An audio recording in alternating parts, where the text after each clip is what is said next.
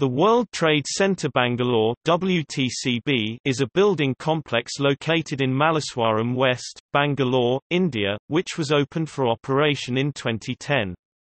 Built by Brigade Group who obtained the WTCA license for its construction, the building became the second World Trade Center in India after the one in Mumbai.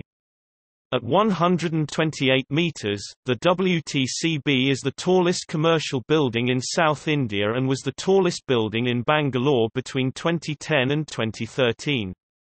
The building is part of an integrated enclave called Brigade Gateway, Along with Orion Mall, Columbia Asia Hospital, Sheraton Hotel, Brigade School and Brigade Gateway Apartments, the WTCB is close to ISKCON Temple, Indian Institute of Science, Yesvantpur Junction Railway Station and Sandal Soap Factory Metro Station.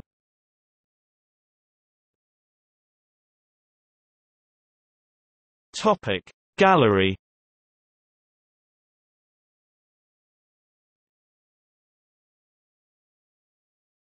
Topic. See also List of tallest buildings in Bangalore List of tallest buildings in India